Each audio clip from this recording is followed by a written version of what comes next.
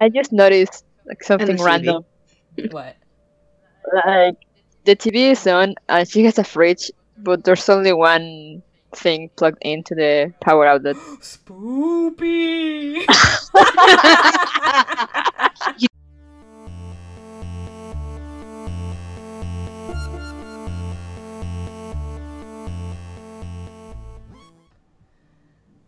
Hello, everyone, and welcome back to Four Pixels.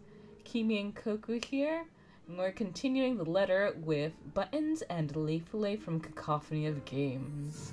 Yes, and an old friend is back. God, I love this music.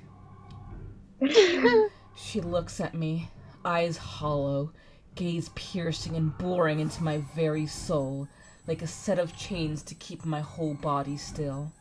I like how her head twitches. Yeah. There are no shadows or whispers this time. Only a plea. A hum, low and indistinct. Compelling me, beckoning me, intent on dragging me to the void beyond the glass. I don't dare move.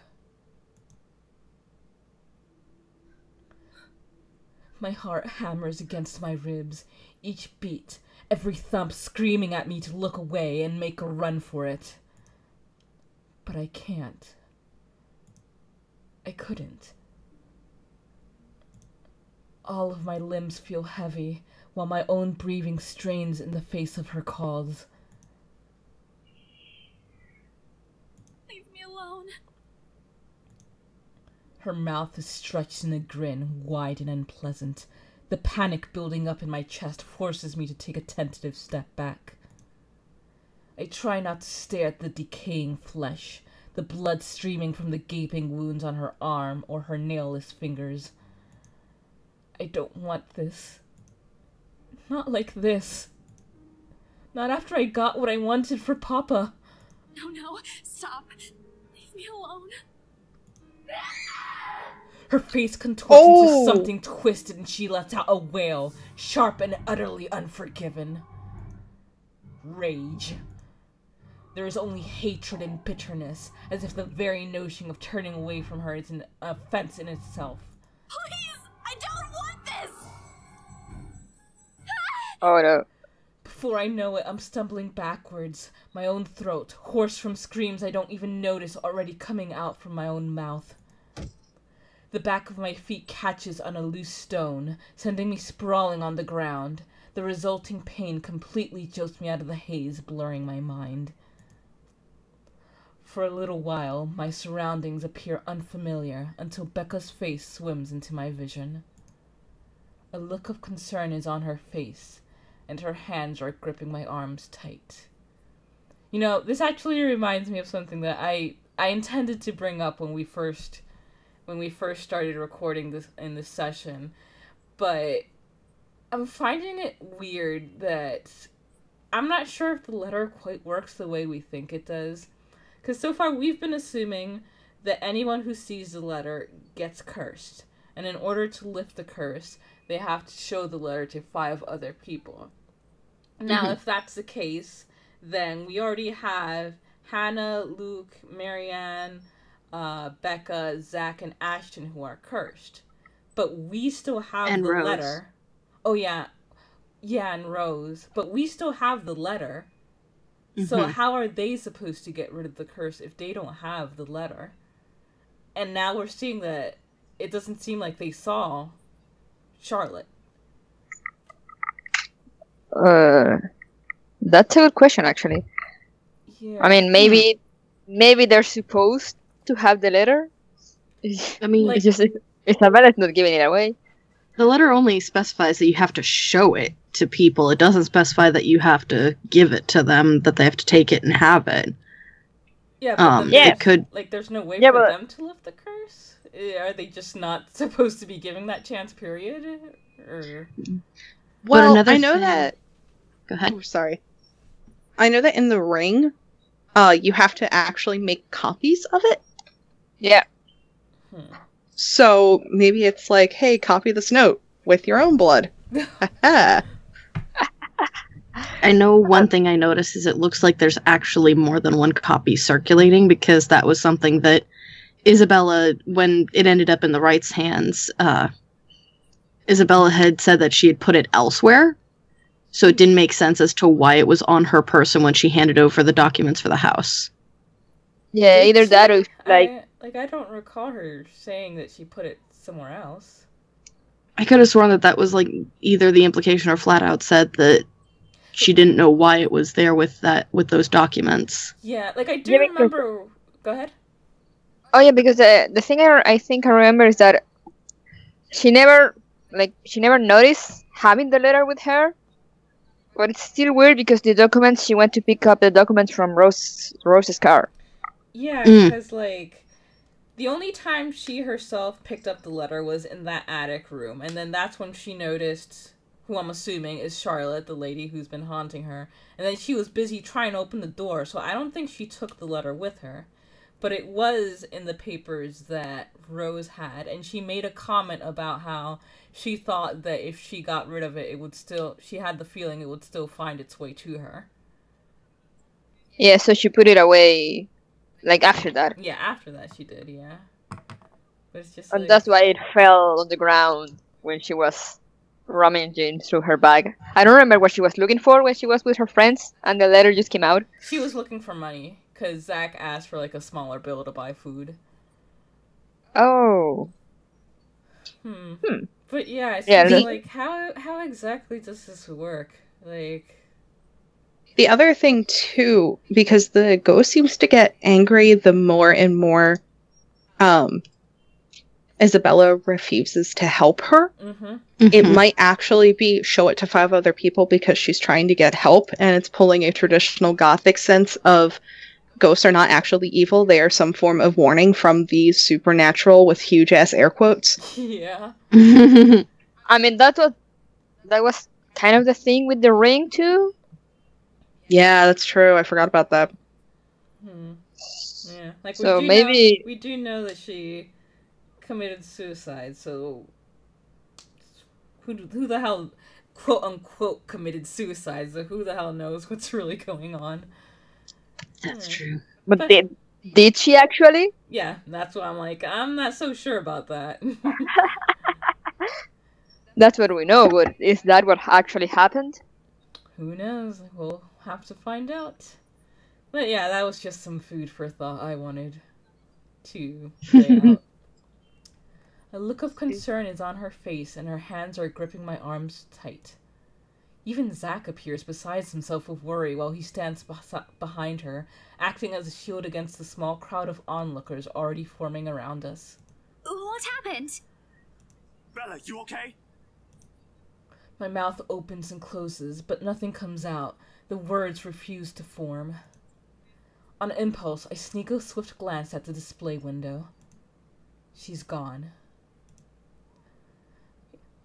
So yeah, an- another quick thing. It seems like maybe the ghost can hmm. only ever target one person at a time, because like, yeah, this is. and likely Right. whoever's holding on to the letter. I'm thinking, yeah, I'm thinking maybe you're right. Oh. Maybe you're right in that. Like maybe she's not actually like passing the course of the letter, but it's like the ghost like gives the letter to this one person, and this person needs to show it to five other people to like grab them together in in whatever it is, but like they're sharing the same cars. So like Hmm.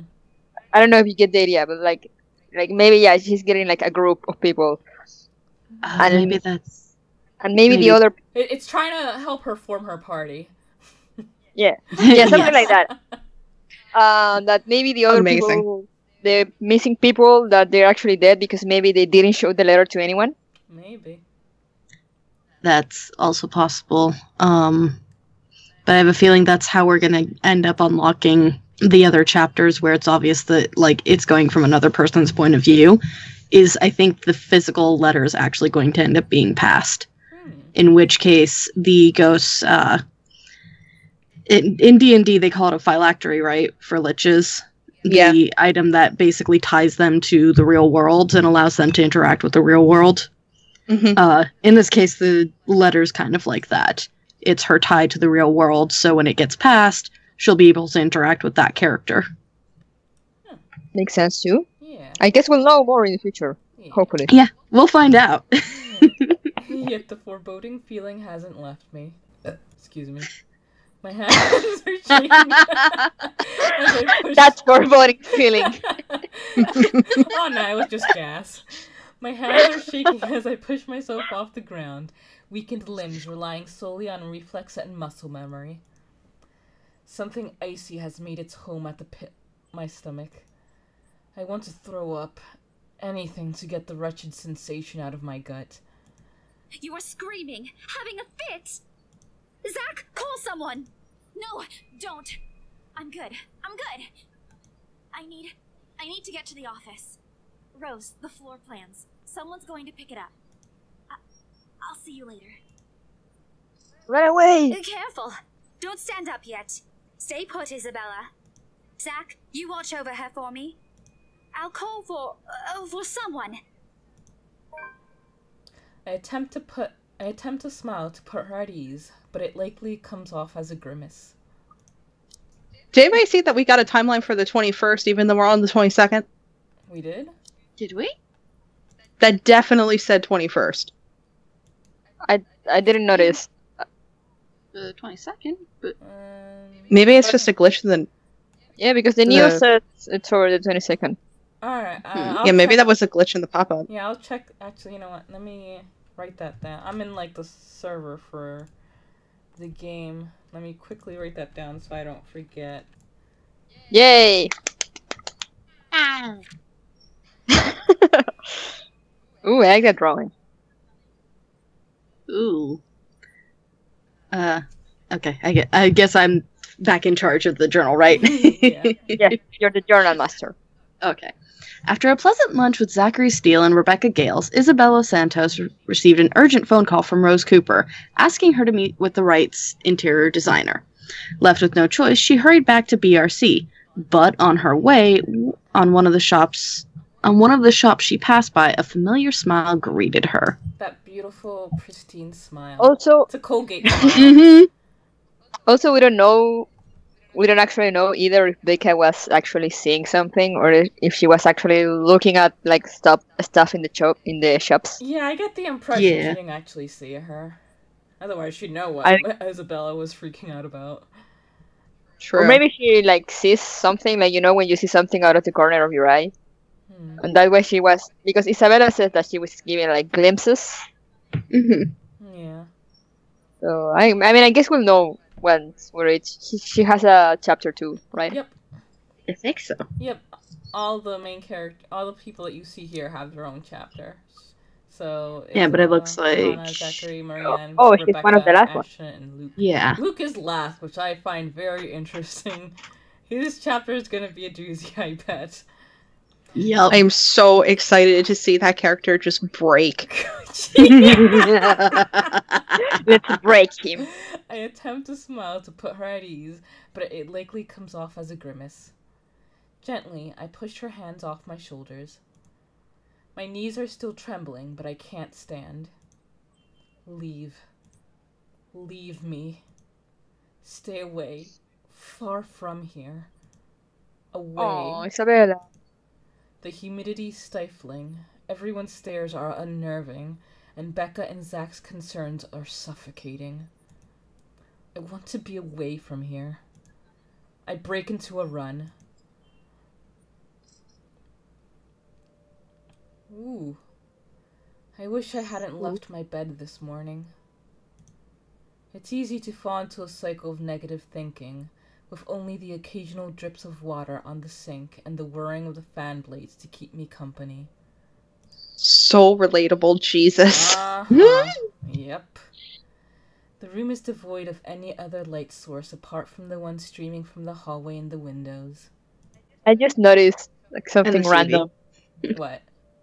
Like the TV is on, and she has a fridge, but there's only one thing plugged into the power outlet. Spoopy!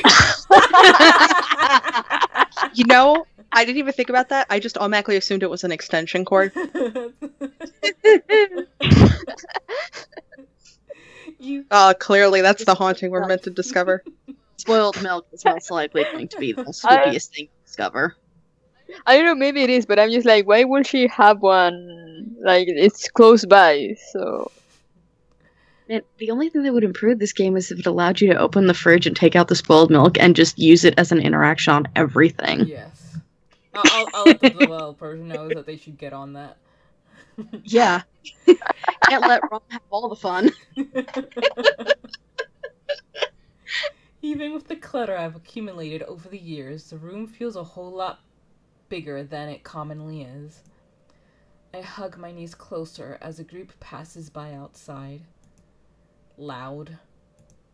So loud. Relatable. If only there Throw them was a way to tune everything else out, to keep my head from replaying every image, every sound of her. Her screams, her awkward gait as she reaches for me, her bone chilling smile, her pleas for enough. I honestly enough. would- I honestly wouldn't be able to stay by myself Nope. after that. Uh-uh. Yeah. A shiver passes over me, though it's not from the hair still hanging damp against my back, nor the draft that enters the room from the windows I've left open. My gaze shifts over the letter sitting on the coffee table, its edges flutter innocu- innocuously. Is that how you pronounce that? Mhm. As the wind Yep. touches it. It actually does say send it to five people, not show it to five people. Ooh. Oh. Oops. Oops. So words. So actually- words. Oh, reset the clock.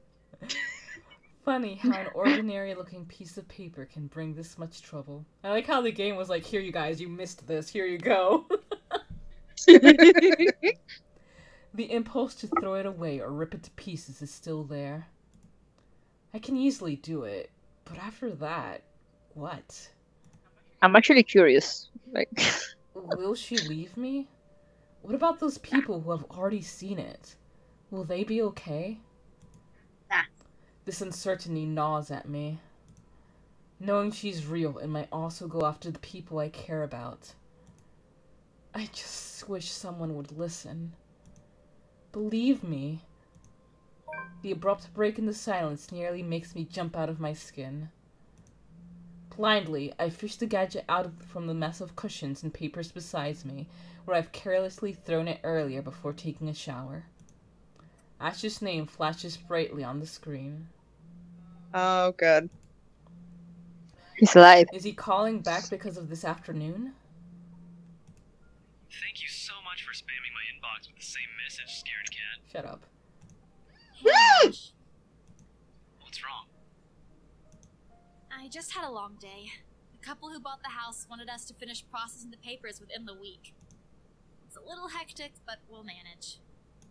Really? You sold it? Don't sound so surprised.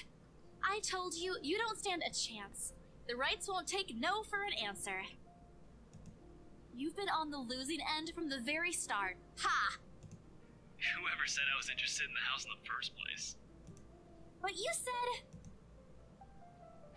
His snigger comes off as annoying to my ears. I fight the urge to end the call right then and there. Stupid Ash. You're such an ass. And just so you know, hmm. I'm not treating you to a separate celebration. Or ever. Now, that's just unfair. And here I was looking something up for you. Did you say you wanted to talk to Andrew? I paused. I did say that, but I didn't think he'd actually go through the trouble, considering how much he scoffed at the whole topic in the first place. Is he. is he okay with that? Totally. Besides, I need to ask him about something. I might as well do it soon. What do you say you come with me tomorrow morning? Well, there's no harm in it, I suppose. I've got a free day anyway. Great, I'll just pick you up. Don't oversleep. Don't compare me to you. I'm not the one who sleeps like a rock. You just slept through your morning. Another round of chuckles comes from him. Oh, I will live for the day he'll stop making fun of me. Just you wait, you. you. you asshole. As I'm about to press the button to end the call, he clears his throat. And, uh, Isabella? Ooh. Mm. The different tone in his voice sends my eyebrows shooting up into my airline. A- hairline. it's my airline. I mean, I guess it also works. what were you saying about money problems? What? Is the world ending today? Did you forget something? Are you. Do you think you. We. Never mind. Good night. oh. No, don't pussy Oh, out. Oh, Nash. God damn it. Say it! Just do it! Do it! Bro, get some guts. Just Fucking badly- ask her. Just badly Photoshop over Ash's name and everything pusillanimous. The entire game. and on that note, we will end things right here with Ash chickening out. Thank you guys for joining us Uh, and see you next time. See you next time, everybody. Bye-bye.